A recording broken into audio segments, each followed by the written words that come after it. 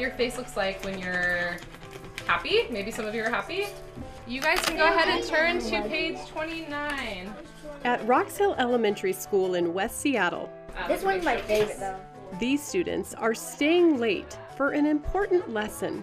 Andres, how are you feeling today? They're learning how to deal with emotions and feelings in a healthy way through art.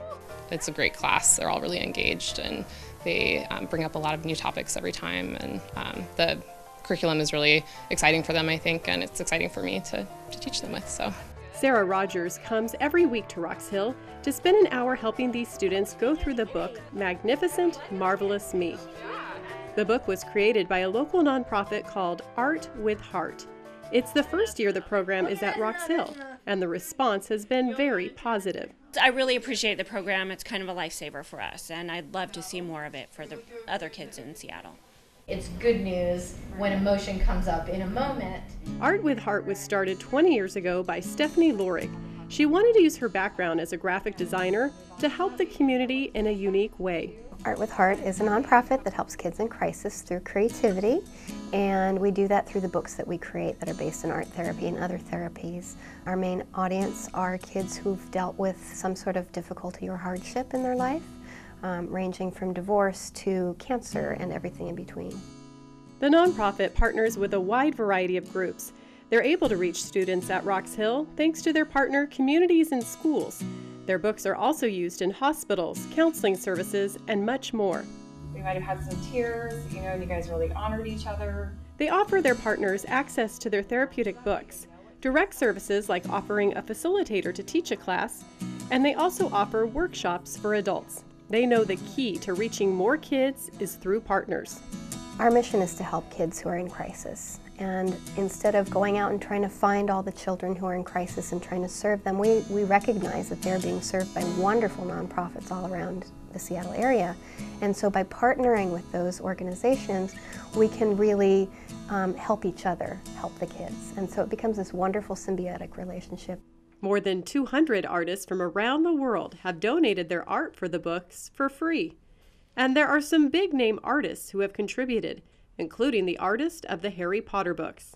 You don't know how you're feeling? But they're not just beautiful to look at.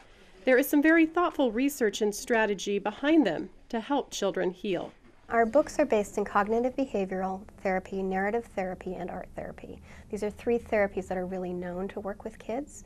Um, the principles are also based on social emotional learning, which are skills that kids need in order to become successful adults. Being able to get along with each other, being able to express your feelings and be assertive instead of aggressive. Since 1996, we've been able to help over 136,000 kids across the world move through their trauma. The greatest part about our organization is that our books have legs. They're able to travel across the world. We have volunteers in places like Nepal, we have volunteers in South Africa who have taken our books and implemented into these organizations that are, have been established by the local communities there, and they've been able to use our programs. Locally, Art with Heart played a major role in the healing of the children at Darrington Elementary School after the Oso mudslide hit in 2014. Two children at that school were killed. It really helped the kids to begin expressing their emotions, really big feelings that they'd experienced following the landslide, things that they hadn't had an opportunity to talk about. Um, the community was in a lot of pain. Their families were going through a lot, and I think the kids just hadn't had an opportunity to go through their own grief process. Megan Lucas had used the program before and wanted to bring it to the school. They didn't even have a school counselor before she came.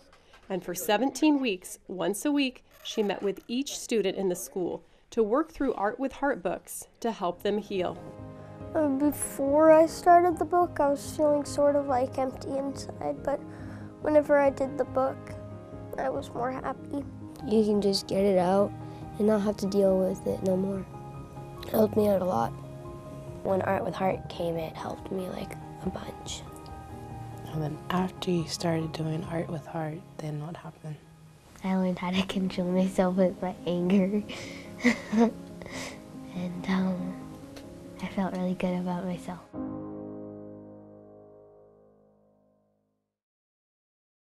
Watch City Stream Thursday nights at 7 on the Seattle Channel, or get video on demand and podcast anytime at seattlechannel.org.